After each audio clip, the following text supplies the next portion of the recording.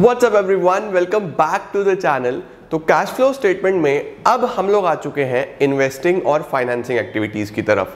कल मैंने आप लोगों को ऑपरेटिंग एक्टिविटी वाला पार्ट कराया था। अभी हम आगे बढ़ेंगे और इस वीक का आपको टारगेट पता है कि रिटायरमेंट आपको पूरा करना है और कैश फ्लो स्टेटमेंट पूरा करना है। तो कैश फ्लो स्टेटमेंट मैं करा ही रहा हूँ। रिटायरमेंट मैंने पहले कराया हुआ है। बीएसटी और इको के भी टारगेट्स मैंने आपको दिए हुए हैं।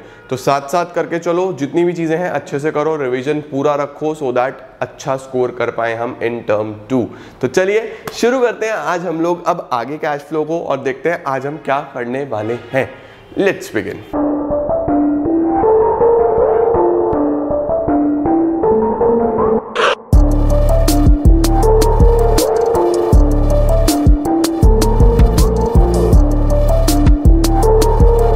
चलिए शुरू करते हैं हम इन्वेस्टिंग एक्टिविटी के साथ। तो हेडिंग डालेंगे। इन्वेस्ट या पूरा हेडिंग डालते हैं हम। Cash flow from investing activity आज हम इन्वेस्टिंग एक्टिविटी को सीख रहे हैं। ऑपरेटिंग मैंने आपको सिखा दी इन्वेस्टिंग को हम सीख रहे हैं। ये वाला पार्ट सबसे इंपॉर्टेंट है, इसमें सबसे ज़्यादा नंबर कटते हैं, ठीक है? अब इन्वेस्टिंग एक्टिविटी में आपके मेनली दो चीज़ें आती हैं। सर दो चीज़ें कौन कौन सी आती हैं? एक, आपके फिक्स एसेट्स और एक, आपकी नॉन करंट इन्वेस्टमेंट्स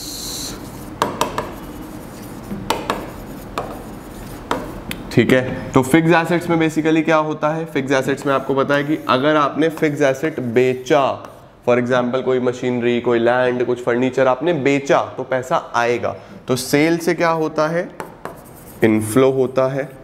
अगर आपने खरीदा एसेट खरीदा तो उससे क्या होता है? आउटफ्लो होता है। आउटफ्लो मतलब पैसा जा रहा है। तो फिक्स एसेट्स में सेल परचेज आ सकता है इसके अंदर, sale of asset, purchase of asset. Investments की बात करें तो इसी तरीके से इन्वेस्टमेंट भी या आप खरीद सकते हो या बेच सकते हो। आपने अगर खरीदी नॉन करंट इन्वेस्टमेंट्स तो पैसा गया आउटफ्लो और अगर आपने सेल करी तो पैसा आया इनफ्लो इसके बाद क्या होता है, सर, अगर आपने पैसा इन्वेस्ट करा हुआ है मतलब आपने कहीं पैसा लगाया हुआ है, कहीं किसी शेयर में या कहीं पे इन्वेस्ट करा हुआ है आपने पैसा तो वहाँ से आपको दो चीज़ें रिसीव भी होती हैं। एक तो इंटरेस्ट रिसीव्ड और एक डिविडेंड रिसीव्ड एक इंटरेस्ट रिसीव्ड होगा और एक डिविडेंड रिसीव्ड होगा। तो आपके पास अगर देखा जाए तो ये छह पार्ट्स हैं। ठीक है? जो आपको कहाँ देखने को मिलेंगे? इन्वेस्टिंग एक्टिविटी में देखने में मिलेंगे। सबसे पहले फिक्स एसेट्स की sale purchase of fix assets बेचा तो पैसा आया इनफ्लो खरीदा तो पैसा गया आउटफ्लो जहाँ पे भी आउटफ्लो है वो आप माइनस में दिखाते हो, ठीक है? नॉन करंट इन्वेस्टमेंट खरीदी तो पैसा गया माइनस में आ जाएगा। बेचा तो पैसा आया, यहाँ पे भी पैसा आया, यहाँ पे भी पैसा आया। ये इनफ्लो ठीक है जी? तो बेसिकली ये हमारे पास इन्वेस्टिंग एक्टिविटी में चीज़ें आती हैं। अब इन्वेस्टिंग एक्टिविटी में जो सबसे इंपॉर्टेंट होता है वो आता है preparation of accounts.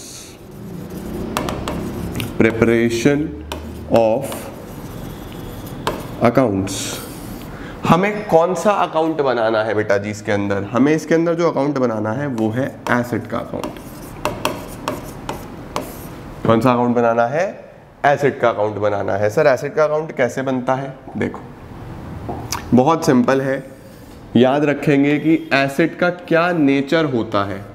सबसे पहले तो आप एसेट का नेचर देखो कि एसेट डेबिट में इंक्रीज होता है और क्रेडिट में डिक्रीज होता है। ये आपको पता होना चाहिए। वैसे तो मैंने इलेवेंथ से भी जो बच्चे पढ़ रहे हैं, वो मेरा क्लियर वाला रूल जानते हैं। Capital liability expenses assets revenue तो बेसिकली एसेट का नेचर डेबिट में इंक्रीज होना होता है और क्रेडिट में डिक्रीज होना होता है। ठीक है ना? तो अब यहाँ पे क्या होता है कि आपको एसेट का अकाउंट बनाना है। तो सबसे पहले तो आप यहाँ पे ओपनिंग बैलेंस लिखते हो कि आपका एसेट शुरू में कितना दिया हुआ है। टू बैलेंस ब्रॉड डाउन यहाँ पे आप लिखते हो बाय बैलेंस कैरिड डाउन उसका क्लोजिंग बैलेंस कि साल के लास्ट में आपको कितने का एसेट गिवन है। ठीक है? यहाँ ओपनिंग बैलेंस लिखना, यहाँ पे क्लोजिंग बैलेंस लिखना। ओके हो गया। अभी एसेट पूरे साल में यूज़ होगा तो डेप्रिशिएट तो होगा। वैल्यू तो कम होगी ना, उसकी कोई भी एसेट लो, मैं ये कैमरा यूज़ कर रहा हूँ वीडियो शूट करने के लिए, इसकी वैल्यू भी कम हो रही है। तो डेप्रिशिएट तो 100 परसेंट होता है, कोई भी एसेट हो। कम होना तो इधर लिखना है तो हम यहाँ पे लिखते हैं डेप्रीसिएशन बाय डेप्रीसिएशन जो भी इसका करंट ईयर का डेप्रीसिएशन लगा है, ठीक है? उसके बाद अगर आपने कोई एसेट बेच दिया तो पैसा मिलेगा। पैसा मिलेगा तो इधर आ जाता है बाय बैंक ये आपके पास सेल है। ठीक है? और अगर इसको बेचने पे लॉस हुआ तो वो भी यहाँ पे हम लिखते हैं by statement of P and L statement of profit and loss ये है लॉस ये भी इधर आ जाता है। ठीक है जी? तो ये सब आपको गिवन होता है यूजुअली कि एसेट इतने का बिका opening balance closing balance depreciation तो हमारे पास यहाँ पे एक फिगर निकल के आती है बैलेंस में। उसको हम क्या बोलते हैं? यहाँ पे अगर वैल्यू निकल आए तो ये निकला हमारे पास परचेज ये आपके पास परचेज ऑफ़ एसेट निकल आता है। आपको यूजुअली यही निकालना होता है। परचेज ये आपको बैलेंस में निकालना है। ये निकलेगा कैसे? इन सब का टोटल करो। उसमें से ये माइनस कर दो। ये आ जाएगा आपके पास बैलेंस में परचेज तो ये आपको कैश फ्लो स्टेटमेंट में पता होना चाहिए कि एसेट अकाउंट जब आप बनाओगे तो या यूजुअली सेल बताएगा तो परचेज निकाल लेना। परचेज बताएगा तो सेल निकाल लेना। ये आपने क्लास इलेवेंथ में ही बनाया है डेप्रिसिएशन में बनाया ना एसेट अकाउंट इधर ओपनिंग बैलेंस फिर डेप लगता था, बिक जाता था क्लोजिंग बैलेंस वही तो बात है। खरीदते थे तो इधर लिख देते थे। वही सेम अकाउंट है ये। ओके अब इसकी आइटम्स कहाँ कहाँ पे जाती हैं सर इस अकाउंट में से चीज़ें कहाँ कहाँ पे जाएँगी? देखो, सबसे पहले इसका आप क्लैरिटी से स्क्रीनशॉट ले लेना, फिर मैं तुम्हें बता दूँगा करना क्या है। अब देखो, ये जो बैलेंसेज हैं, ये बैलेंसेज कहीं नहीं जाते। बैलेंस यहीं पे आते हैं बस। ओपनिंग क्लोजिंग बात खत्म। उसके बाद चीज़ें जाती हैं। देखो, जैसे डेप्रीसिएशन डेप्रीसिएशन आपने ऑपरेटिंग एक्टिविटी में प्लस किया था सबसे ऊपर। कल वाली वीडियो में बताया था ना प्लस कर दो non cash non operating item sale पैसा आया इनफ्लो तो ये इन्वेस्टिंग में ही प्लस हो जाता है। ठीक है या नहीं है? पैसा आया तो प्लस हो जाएगा। ठीक है? Loss on sale of asset ये भी ऑपरेटिंग में ऐड किया था या नहीं किया था? तो ये भी ऑपरेटिंग में प्लस होता है। ये चीज़ें हम कल पढ़ चुके हैं। Loss on sale of asset और डेप्रिसिएशन याद है? ये तो इन्वेस्टिंग का पार्ट है ऑब्वियसली आपने माल एसेट जो है वो बेचा है तो पैसा आया पॉजिटिव में। खरीदा तो ये भी कहाँ पे? ये भी इन्वेस्टिंग का पार्ट है। इन्वेस्टिंग में ही माइनस में। सर माइनस में क्यों? माइनस में इसीलिए क्योंकि खरीदा तो पैसा गया ना, है ना? तो इस तरीके से ये आपका एसेट अकाउंट बनता है। पहले तो आपको ये बनाना आना चाहिए। अब क्या होता है? एक नोट लिखो। एक नोट लिख लो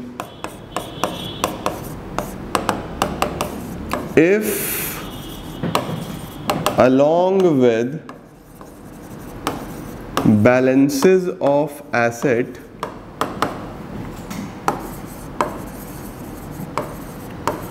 balances of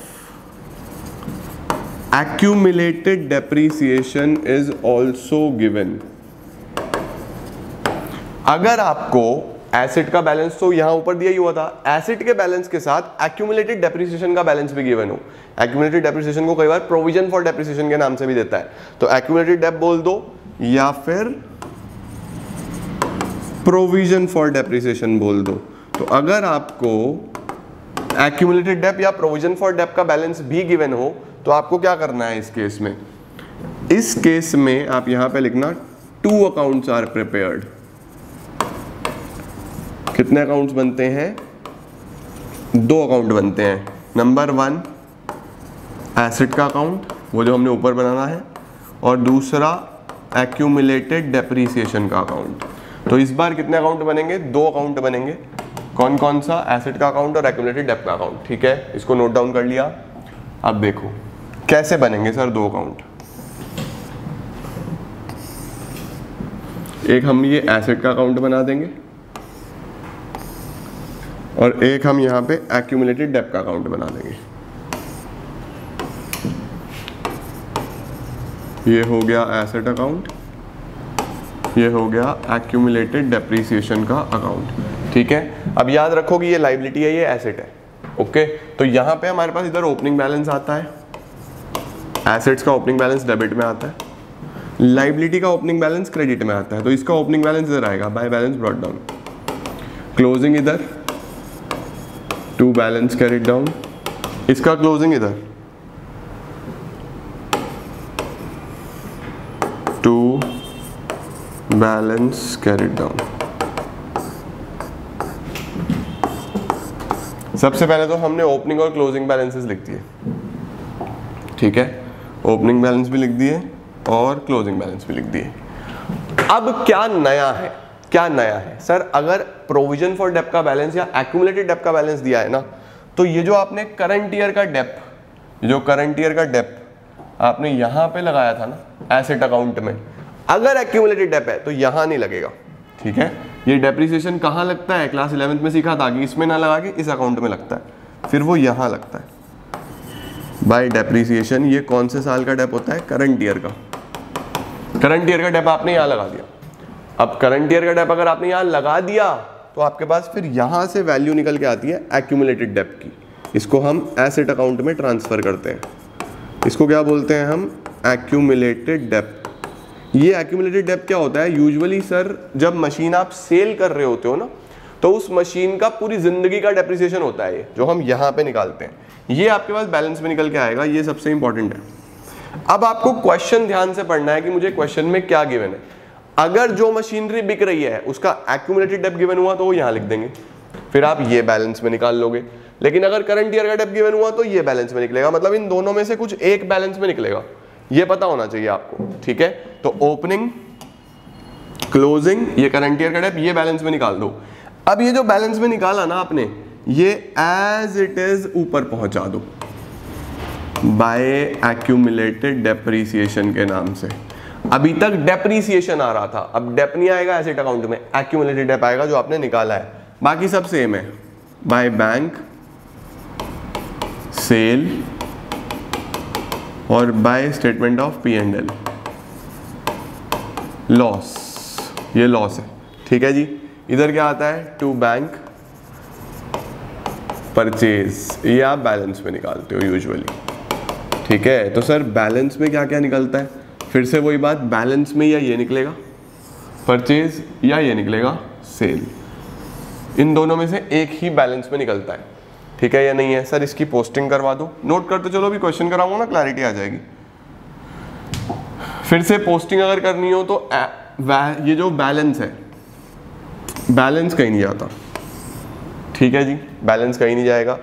accumulated dep already दो जगह आ चुका है। एक वैल्यू ये आ गई, एक वैल्यू ये आ गई, ये भी कहीं नहीं जाएगा। डेप्रिसिएशन आपको पता है? ऑपरेटिंग एक्टिविटी में ऐड हो जाता है। लॉस भी ऑपरेटिंग एक्टिविटी में ऐड हो जाता है। सेल इन्वेस्टिंग एक्टिविटी में ऐड हो जाता है।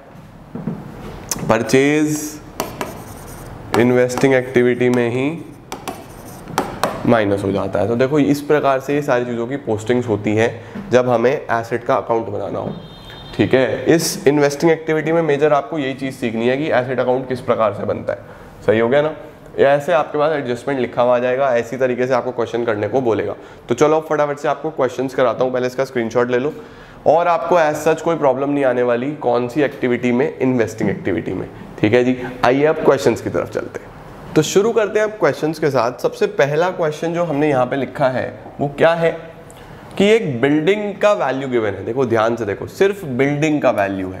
ओपनिंग और क्लोजिंग बिल्डिंग के बैलेंसेज हैं, यानी एक एसेट के बैलेंसेज है। साथ में कोई भी एक्यूमुलेटेड डेप के बैलेंसेज नहीं है। अगर एक्यूमुलेटेड डेप के बैलेंसेज नहीं है तो एक ही अकाउंट बनता है, मैंने आपको सिखाया है। ये देखो, अगर सिर्फ़ नॉर्मल बैलेंसेज हो तो ऐसा एक एसेट अकाउंट बन जाता है। Opening closing depreciation sale loss और परचेज आ जाता है। लेकिन अगर एक्यूमुलेटेड डेप के बैलेंसेस भी हो तो फिर दो अकाउंट बनते हैं। तो अभी फ़िलहाल तो एक ही बैलेंसेज है। तो अकाउंट भी कितना बनेंगे? एक ही बनेगा। ठीक है? चलो बना के देखते हैं। ये हमें फ़िलहाल डेटा गिवन है। ओके चलो, यहाँ पे हम कुछ अकाउंट बनाने की कोशिश करते हैं। सॉल्यूशन हम बिल्डिंग का अकाउंट बना रहे हैं। We are preparing building account. Okay जी? चलिए जी, सबसे पहले तुम्हें पता होना चाहिए कि ओपनिंग कितना और क्लोजिंग कितना भाई, शुरू में छह लाख लास्ट में सेवन फिफ्टी सिक्स लाख। मुझे बहुत सारे बच्चे फिर कमेंट कर देते हैं, सर, आप हिंदी में मत बोला करो। क्यों भाई? गलत बात है ना? हमारी मातृभाषा हिंदी। मैं दोनों में बोला करूँगा, ठीक है ना? सिक्स लाख छः लाख सेवन फिफ्टी सात लाख, पचास हज़ार। Six lakh and seven fifty. ठीक हो गया जी? आपको पता चल गया कि शुरू में और लास्ट में ये बैलेंसेज हैं। सबसे पहले तो ये दिया था। अब ध्यान से देखना। एक बिल्डिंग है कॉस्टिंग वन लाख रुपीज़ मेरे पास बिल्डिंग छह लाख की थी। इसमें से कोई पार्ट जिसका कॉस्ट एक लाख रुपए है, यानी मेरे पास ये मैंने एक लाख रुपए की ली थी। इस वाली बिल्डिंग पे एक्यूमुलेटेड डेप एक्यूमुलेटेड डेप का मतलब होता है इसकी पूरी ज़िंदगी का, यानी शुरू से लेके अभी तक का। इस एक लाख पे कितना डेप लग चुका है? थर्टी थाउज़ेंड रुपीज़ ठीक है? शुरू से अभी तक का कितना डेप लग चुका है? थर्टी थाउज़ेंड रुपीज़ अगर वन लाख पे आज तक थर्टी थाउज़ेंड का डेप लग चुका है तो इसकी आज की वैल्यू कितनी है? इसकी आज की वैल्यू है, सर, सेवेंटी थाउज़ेंड। ध्यान से समझना, वन लाख की ली थी।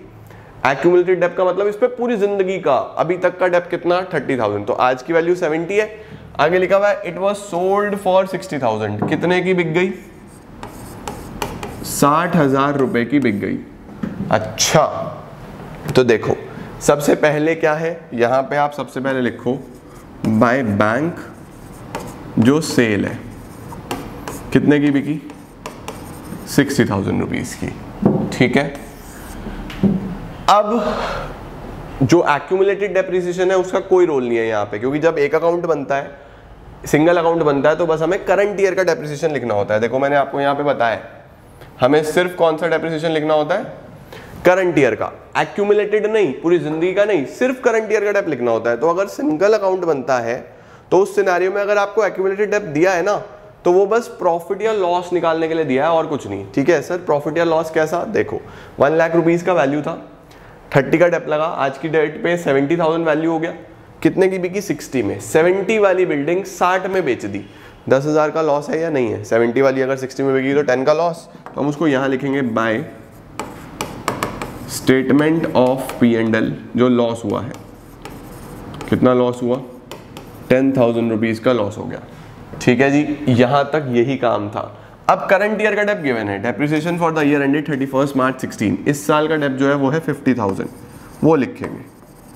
By depreciation fifty thousand rupees fifty thousand rupees का डेप्रिसिएशन आ गया। ठीक है, अब क्या करना है मुझे? अब बस परचेज निकाल लो बैलेंस में, सब कुछ लिख दिया। सेवन फिफ्टी और fifty eight lakh eight seventy आ गया तो एट सेवेंटी इधर का टोटल है। Eight seventy minus six lakh two की मैंने मशीन और खरीदी है यानी कि। ये मेरे पास टू बैंक क्या वैल्यू आई? परचेज ये हमारे पास परचेज निकल के आ गया।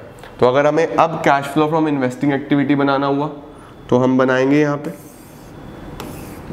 यहाँ डाल देंगे cash flow from investing activity अब मैंने आपको बताया बैलेंस तो कहीं नहीं आते। परचेज अगर आपने बिल्डिंग खरीदी है तो इन्वेस्टिंग में जाएगा। परचेज ऑफ़ बिल्डिंग पैसा गया। Two lakh seventy thousand rupees तो माइनस में लिख देना। ठीक है या नहीं है? अच्छा जी, उसके बाद सेल यहाँ पे आएगा। सेल ऑफ़ बिल्डिंग पैसा आया सिक्सटी थाउज़ेंड रुपीज़ पॉजिटिव में। लॉस जो है, वो यहाँ पे नहीं जाएगा। लॉस ऑपरेटिंग में सबसे ऊपर प्लस होगा और डेप्रिसिएशन भी ऑपरेटिंग में सबसे ऊपर प्लस होगा। तो इन दोनों का इन्वेस्टिंग एक्टिविटी से कोई लेना देना नहीं है तो इन्वेस्टिंग एक्टिविटी में ये आएगा। फ़िलहाल आपका आंसर 270 माइनस का है और 60 पॉजिटिव का है।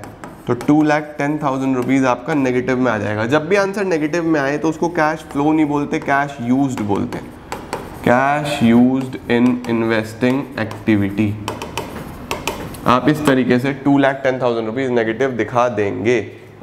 इस तरीके से आपको क्वेश्चन करना होता है। स्क्रीनशॉट ले लो जल्दी से, फटाफट से। नोट डाउन करना है तो नोट डाउन कर लो। स्क्रीनशॉट लेना है तो स्क्रीनशॉट ले लो। फटाफट। हो गया जी? अब चलते हैं एक अगले सवाल की तरफ़। देखो जी। क्वेश्चन की फ्रेमिंग देखो। क्या गिवन है हमें? इस बार मुझे मशीन के बैलेंसेस भी हैं ओपनिंग क्लोजिंग और एक्यूमुलेटेड डेप के बैलेंसेस भी हैं ओपनिंग क्लोजिंग यानी दो बैलेंसेस दिए हैं। दो बैलेंसेस दिए हैं तो सर कितने अकाउंट दो अकाउंट ठीक है? चलो बनाओ। मशीन भी है और एक्यूमुलेटेड डेप भी है तो दो अकाउंट बनेंगे। छोटा बना दू थोड़ा सा? इधर मशीन बना लेते ये तो हो गया हमारा मशीन अकाउंट और इधर हम बना देते हैं accumulated Depp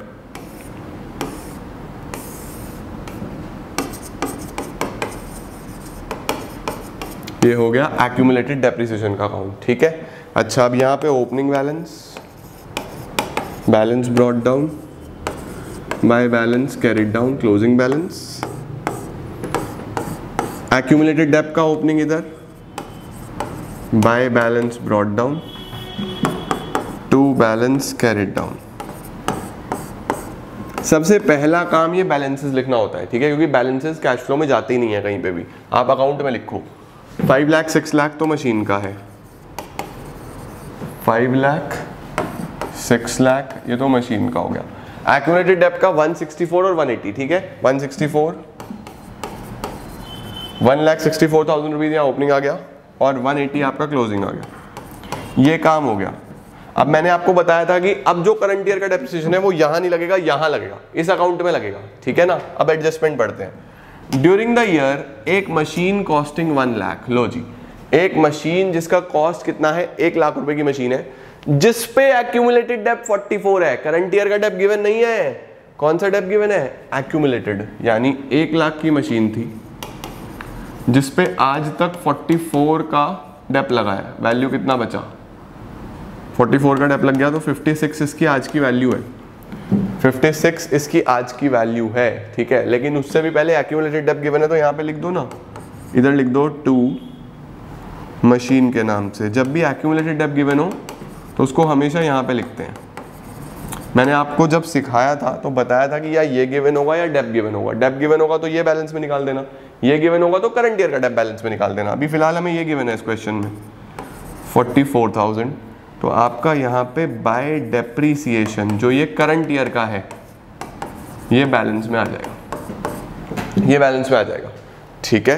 180 eighty plus 44 224 224 minus 164 74 84 94 204 14 224 60000 ये आपका बैलेंस में निकल के आ गया करंट ईयर का डेप्रिसिएशन ठीक हो गया? अब देखो जरा। 56 इसकी वैल्यू थी 56 वाली 30 में बेच दी सोल्ड फॉर 30,000 56 वाला पार्ट अगर आप 30 में बेच रहे हो तो लॉस कितना हो रहा है? 26 का लॉस हो रहा है या नहीं हो रहा है? अगर 56 वाली मशीन आप 30,000 में बेच रहे हो तो 26 का लॉस है यार साफ़ साफ़ है ना? तो इस सिनेरियो में अब क्या करना है? देखो। बाय बैंक आपने 30,000 का बेच दिया ये। इस पे आज तक का जितना भी टोटल डेप है एक्यूमुलेटेड डेप्रिसिएशन ये 44 इसको एज इट इज़ इधर ले आओ। यहीं से निकल के इधर आता है, ठीक है? By statement of P and L जो आपका लॉस हुआ लॉस कितना हुआ जी? लॉस हुआ ट्वेंटी सिक्स थाउज़ेंड रुपीज़ का। ठीक है? बस, सब कुछ भर दिया हमने। वेरी सिंपल आपको बस ये पता होना चाहिए कि सिंगल अकाउंट जब बनाते हैं ओनली एसेट का अकाउंट तो वहाँ एक्यूमुलेटेड डेप का कोई काम नहीं होता। वहाँ करंट ईयर का डेप चाहिए। लेकिन अगर एक्यूमुलेटेड डेप है तो अगर ये डेप गिवन होगा तो ये निकालो, ये गिवन होगा तो ये निकालो और इसको एज इट इज़ यहाँ लेके आओ। अब परचेज निकालो। टू बैंक अब देखना है मुझे परचेज कितना है। ये बैलेंस में निकलेगी।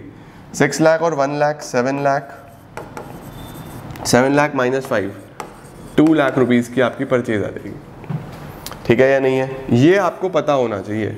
इस तरीके से ये अकाउंट बनते हैं। इनका रोल यही है।